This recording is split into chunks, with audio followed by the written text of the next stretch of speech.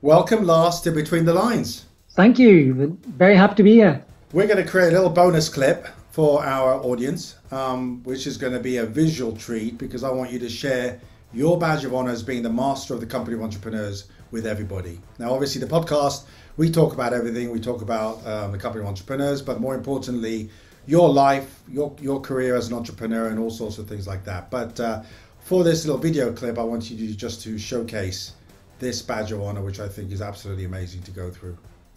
Yeah, so so here we have it. So this is the badge of office for the master of the company of entrepreneurs. Around the edges, we have dare, create, succeed, uh, the motto of the company.